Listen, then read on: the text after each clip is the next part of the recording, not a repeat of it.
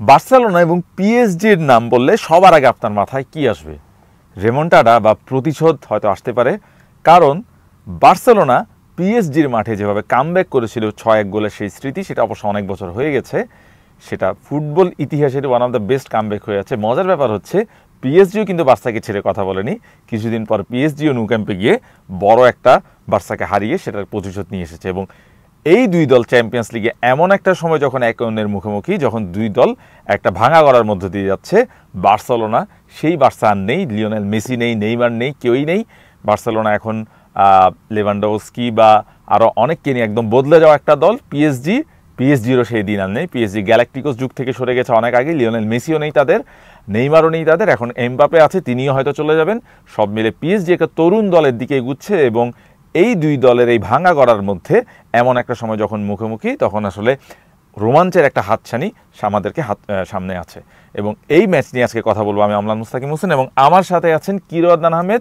Welcome to champions লিগের quarter ফাইনালের Barcelona এবং পিএসজির প্রিভিউ প্রথমেই আমরা এই ম্যাচের কন্টেক্স যেটা বলছিলাম, যে দুই দলের এমন একটা জায়গায় আছে যখন দুই দলের অতীত ইতিহাস বারবার দলের মাঝখানে কিন্তু প্রচুর দ্বন্দ্ব প্রচুর দ্বন্দ্ব। ফুটবলীয় দিক থেকেও দ্বন্দ্ব ফুটবলের বাইরেও তাদের মাঝখানে প্রচুর দ্বন্দ্ব। আমরা যদি মানে এই দুই ম্যাচের কথা তো আপনি বললেন এর বাইরে যদি আমরা অন্য দিকগুলো দেখি লাইক পিএসজি সবসময় Barcelona and Real Madrid Spanish ক্লাবগুলোর ডমিনেন্সটা তারা সবসময় হেট করে এসেছে।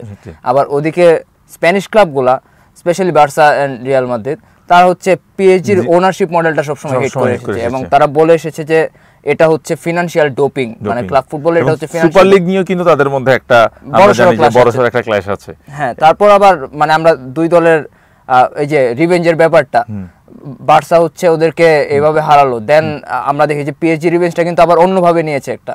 ওরা নেইমারকে নিয়ে গেল বার্সা থেকে রেকর্ড ট্রান্সফার ফিতে দেন আবার বার্সার প্রাণ ভোমরা মেসিকে নিয়ে গেল তারা। পিএসজিতে এই এই সিজনে ডেম্বেলেকে নিল। ইভেন পিএসজির বর্তমান কোচও কিন্তু সাবেক প্লেয়ার এবং কোচ সব মিলে আসলে দুই দলের মধ্যে যেমন অনেক মিল তেমনি অমিল। আমরা এই মুহূর্তে স্ক্রিনে হেড টু হেডের ব্যাপারটা যেটা দেখতে পাচ্ছি, দুই দল একদম একই রকম সমতায় আছে ড্র জয়, দুই দলের সব কিছু আসলে আমরা দেখছি, বার্সা পিএসজি সব কিছু একই রকম এবং এই ম্যাচের আগে এটা বলা যায়, আমার মনে চ্যাম্পিয়ন্স লিগের এটা one of the closest ties এই ম্যাচে কাউকে এগিয়ে রাখা বা কাউকে পিছিয়ে রাখা খুব কঠিন, নানা কারণে কেন, সেটা আমরা এখন একটু বোঝার চেষ্টা করব।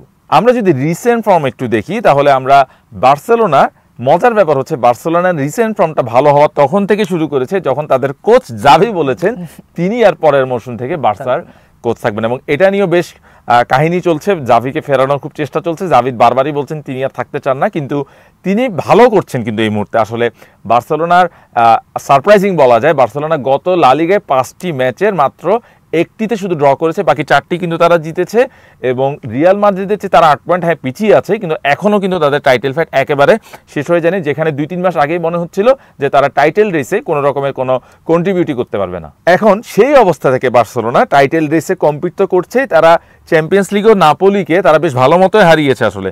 এটাও বলা যায় একটা সারপ্রাইজিংই ব্যাপার কারণ বার্সেলোনা চ্যাম্পিয়ন্স লিগের ফর্মে গত কয়েক বছর ধরে একেবারে ভালো নয়। স্টেজ থেকে বাদ গ্রুপ স্টেজ থেকে বাদ পড়েছে। ইউরোপা লিগে তারা ভালো করতে পারেনি। ইউরোপা লিগের মতো কম্পিটিশনে পিএসজির ফর্মটা আসলে কেমন? পিএসজি তো আমরা জানি ফ্রেঞ্চ লিগে তারা আসলে একেবারে কম্পিটিশনই নেই যেটা তারা এবারে আসলে তারা অনেকটা এগিয়ে গেছে। কিন্তু সবকিছু মিলে পিএসজি চ্যাম্পিয়ন্স লিগ বা ঘরোয়া লিগ মিলে পিএসজি আসলে ঠিক এই মুহূর্তে কি রকম শেপে আছে? যেটা বললেন ওদের তো লিগে নিজস্ব লিগে কোনো তাদের কম্পিটিশনই নেই। তারা বারো পয়েন্টে এগিয়ে আছে এবং তারা এই লিগ জিতবে নিশ্চিতভাবে তারা এই বছর কোনো ম্যাচ হারেনি। তারা ছাব্বিশ ম্যাচ ধরে অপরাজিত আছে। সর্বশেষ ম্যাচ হেরেছিল পাঁচ মাস আগে নভেম্বরে এসি মিলানের বিপক্ষে। অনেক হয়ে গেছে। লং বড়সড় একটা স্ট্রিক অনেকদিন তারা ম্যাচ হারছে না। নতুন কোচ লুইস অ্যান্ডিকের অধীনে আমরা দেখতে পাচ্ছি যে তাদের একটা ট্রানজিশনের মধ্য দিয়ে যাচ্ছে এবং ট্রানজিশনটা প্রায় কমপ্লিট হয়ে গেছে বলতে পারেন। সব মিলে আসলে দুই দলের যে ব্যাপারটা সেটা আসলে এই মুহূর্তে দুই দলই মোটামুটি ভালো ফর্মে আছে। কাউকে এগিয়ে রাখে পিছিয়ে রাখে কঠিন যেটা বলছিলাম। এখন আমরা একটু বোঝার চেষ্টা করি দুই দলের ফরমেশন ট্যাকটিক্স এবং এই ম্যাচের জন্য তাদের স্ট্র্যাটেজি কেমন হতে পারে। আমরা বোর্ডে প্রথমে বার্সেলোনার এই ম্যাচের ফরমেশন ফার্স্ট ইলেভেন কী হবে সেটা নিয়ে একটু অ্যানালিসিস করি। গোল পোস্টের নিচে টেরেস টেকেন কোনো ডাউট নেই এটা নিয়ে। তাদের দুই ফুলব্যাক এবং একজন দুই সেন্টার ব্যাক সেন্টার ব্যাকের মধ্যে আরাউহো এবং কুবারাসি, আমার ধারণা দুইজন মোটামুটি ফিক্সড। দুইজনই কুবারাসির কথা স্পেশালি বলব। তিনি বার্সেলোনার স্পেনে ওয়ান অফ দ্য ফাইন্ডিংস একদমই অল্প বয়সী, কিন্তু দারুণ সেন্টার ব্যাক দারুণ খেলছেন। এয়ারে বেশ ভালো। তার উপরেই সম্ভবত আস্থা রাখছেন নাপোলির সঙ্গে ভালো খেলেছেন, আমরা দেখেছি অ্যাটলেটিকোর সঙ্গে তিনি ভালো খেলেছেন। এর সঙ্গে দুজন যে ফুল ব্যাক একজন জুলস কুন্ডে তিনি মৌসুমের শুরুতে ভালো না করলেও এখন এসে সারপ্রাইজিংলি বেশ ভালো ইমপ্রুভ করেছেন। আর একজন ক্যান্সেলও ক্যান্সেলো খুব বেশি ডিফেন্সিভলি যে খুব বেশি ভালো শেপে তা বলা যায় না, কিন্তু তার বড় ম্যাচ এক্সপিরিয়েন্স আছে, তিনি অ্যাটাকে বেশ ভালো আমরা জানি, দুই ফ্ল্যাঙ্কেই খেলতে পারেন। তাকে হয়তো বার্সা আমার মনে হয় এই ম্যাচের জন্য জাভি তাকে নিবেন। এবং বার্সেলোনার এই ছয় নম্বরে কিনি খেলবেন, এটা নিয়ে আরেকটা ব্যাপার আছে, ছয় নম্বরে বার্সেলোনার যে প্রথম পছন্দ হতে পারতো, একজনও সম্ভবত এই ম্যাচে বার্সেলোনা কাউকে পাচ্ছে না। পেদ্রি গাভি বা ফ্রাঙ্কি ডিয়ং এর মতো তাদের আসলে সেন্টার সবাই। মিডফিল্ডারে সবাই ইনজুর্ড পেদ্রি এবং ফ্রাঙ্কি ডিয়ং ইনজুরি কাটিয়ে মোটামুটি ট্রেনিংয়ে ফিরছেন কিন্তু এই ম্যাচ আমার মনে তাদের জন্য টু আর্লি হয়ে যাবে। এখনই আসলে বিশেষ করে পেদ্রিকে তো রিস্ক নেবেনই না কারণ আমরা দেখেছি পেদ্রিকে রিস্ক রেকারিং ইনজুরির জন্য। পেদ্রি আসলে কি অবস্থা হয়েছে আমার ধারণা এই ছয় নম্বরে আমরা ক্রিশ্চিয়ানসেনকে দেখতে পাবো। তাকে দেখেছি আমরা আগের ম্যাচগুলোতে হোল্ডিং ডিএম হিসেবে খেলতে এবং তাকে আমরা মনে হয় পিভোটেই দেখতে পাচ্ছি। এবং এর সঙ্গে আট এবং দশ এই দুইটা পজিশনে কে খেলবেন, এটা নিয়ে একটা ব্যাপার আছে। ফার্মিন লোপেজ আমার ধারণা, দশ নম্বরে হয়তো খেলতে পারেন। তিনি যে খুব, তার উপরে যে খুব যাবি ভরসা করতে পারেন সবসময় তা নয়, কিন্তু গত কয়েকটি ম্যাচে তিনি বেশ ভালো খেলছেন। বিশেষ করে ফার্স্ট লাইন অফ প্রেসিংয়ে তিনি লেভানডোভস্কির সঙ্গে বেশ ভালো হেল্প করেন। যে প্রেসিংটা করা আমরা দেখেছি ফার্স্ট লাইন অফ প্রেসিং এটা তিনি বেশ ভালো পারেন। এবং অন্য জায়গাটা আসলে মোটামুটি ফিক্সড ইলকে গুন্ডগান এলসিএম হিসেবে তিনি বেশ ভালো আমরা সিটিতে দেখেছি এলসিএম হিসেবে তিনি লেফট সেন্টার মিডফিল্ডার হিসেবে বা হাইব্রিড মিডফিল্ডার হিসেবে তিনি দুর্দান্ত। বার্সেলোনার জন্য তিনি বড় একটা অ্যাসেট এই মৌসুমে তিনি ভালো ফর্মে আছেন বলা যায়। এর সঙ্গে দুজন উইঙ্গার বা দুজন হোয়াইট ফরওয়ার্ড একজন লামিন ইয়ামাল আর একজন রাফিনহা রাফিনহা। এই দুজন আমার ধারণা এই ম্যাচেও তারা খেলবেন। লামিনিয়ামাল একদম ইয়াং একটা প্লেয়ার কিন্তু দারুণ করছেন তিনি। জোয়া ফেলিসকে আমার মনে হয় বসিয়ে রাখা হতে পারে এবং নাম্বার নাইন হিসেবে লেভানডোভসকি আছেন এই হচ্ছে বার্সেলোনার এই ম্যাচের আমার মনে হয় আমার প্রেডিক্টেড ইলেভেন পিএসজি এন্ডিকের অধীনে মূলত চার তিন তিন বা চার চার দুই ফরমেশনে দল সাজিয়ে থাকে। তারা তাদের খেলার স্টাইলটা অ্যাকচুয়ালি স্বাভাবিকভাবে পরিবর্তন করেছে এন্ডিকের অধীনে। তারা পিছন থেকে বিল্ড আপ করতে পছন্দ করে অ্যান্ড তারা বেশ সময় নিয়ে বিল্ড আপ করে আর কি যেটা মানে লিগ ওয়ানে আমরা নর্মালি দেখি না এরকম টিকে টাকা ফুটবল খেলা।